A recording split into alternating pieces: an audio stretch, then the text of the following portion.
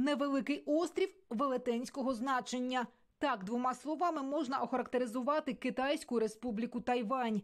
Від материкової піднебесної автономію, що за площею завбільшки як Молдова, відділяє 180-кілометрова протока і 70 років власної історії.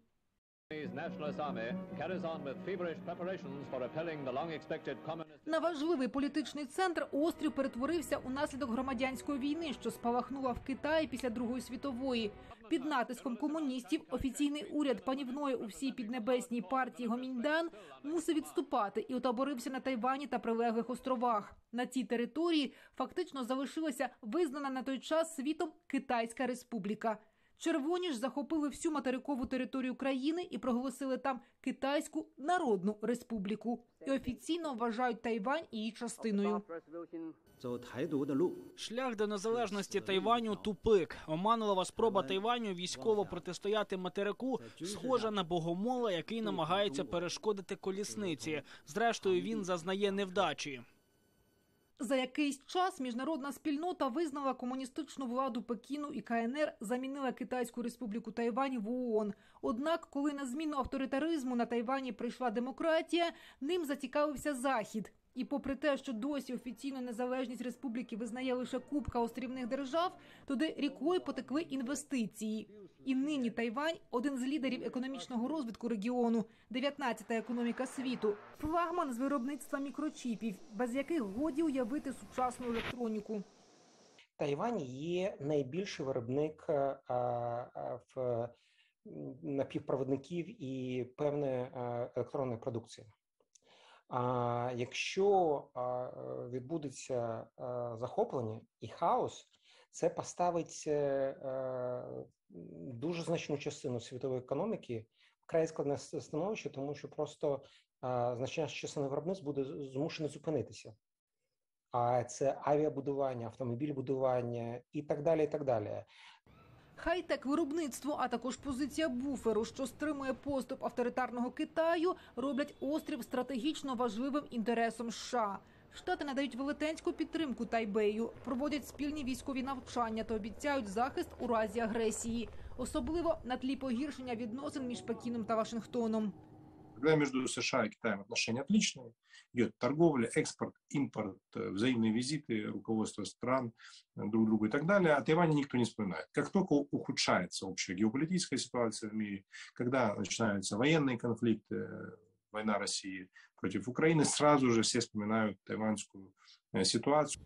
На будь-які натяки на незалежність Тайваню Пекін реагує дуже болісно. І візит на острів спікерки Конгресу, фактично третьої особи США, КНР сприйняла як ляпаса. Проти бунтівної республіки запроваджено санкції. Заборонено імпорт трьох тисяч видів тайванських товарів. А на острів зупинено завезення піску, необхідного для виробництва скла. Небо в регіоні закрите для цивільної авіації. На узбережжі найближче до острова провінції та в акваторії розгорнуто наймасштабніші навчання за участі гіперзвукових ракет.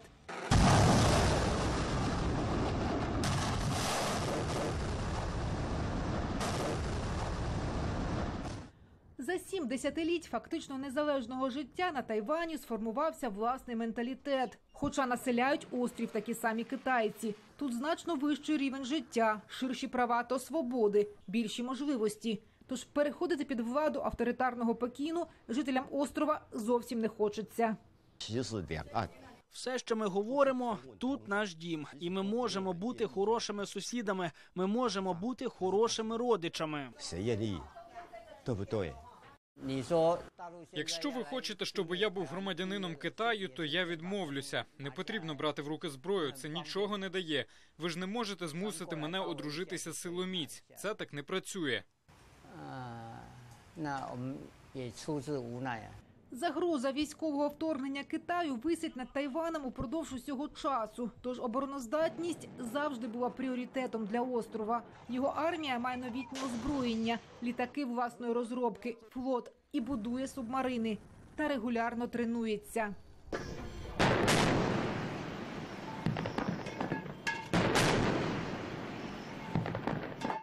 А ще тайванці з інтересом стежать за подіями в Україні, адже вважають, агресія Москви цілком могла би стати індульгенцією для Пекіна розпочати військову операцію проти острова.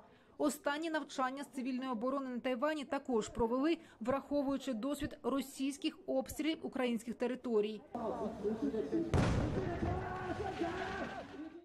Водночас жителі Тайваню кажуть, успіхи героїчного спротиву українців надихають їх, адже доводять добре вмотивоване і озброєне військо цілком може дати гідну відсіч навіть ворогу, що в рази переважає за кількістю та міцю.